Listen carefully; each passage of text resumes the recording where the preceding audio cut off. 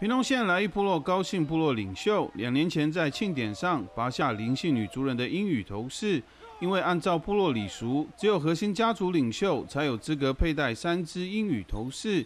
但林姓族人自觉受辱，份额提高。经屏东地方法院审理并征询部落领袖及其老陈述后，认为不构成公然侮辱，因此宣判被告高姓部落领袖无罪。透过这个私下请求以及公开广播方式呢？请他取下这个羽毛都没有获得回应，被告是为了维护这一个传统的习俗，所以才动手去拿下告诉人头顶所佩戴的这个三根的鹰羽毛。那主观上是没有一个侮辱的意思。判决一出，引发地方议论，有部落耆老指出，年轻一辈族人已经淡忘这些礼节，加上主流社会、政治和商业的影响。扭曲了原本严谨的排湾族传统社会制度。现在时代怎么讲呢？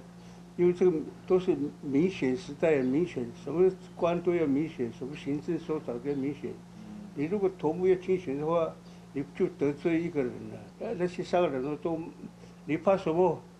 就是你用你的钱买来的，你管管他有没有没有法律规定？这个都是你们三原住民的。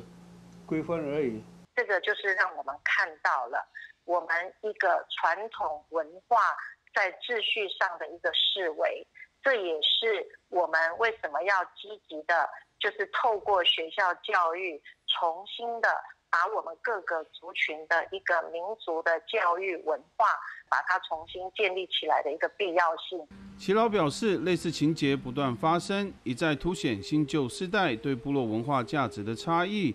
县府原民处希望从教育着手，让美好的部落精神继续传承下去。原是新闻巴朗，平东来意，想不到。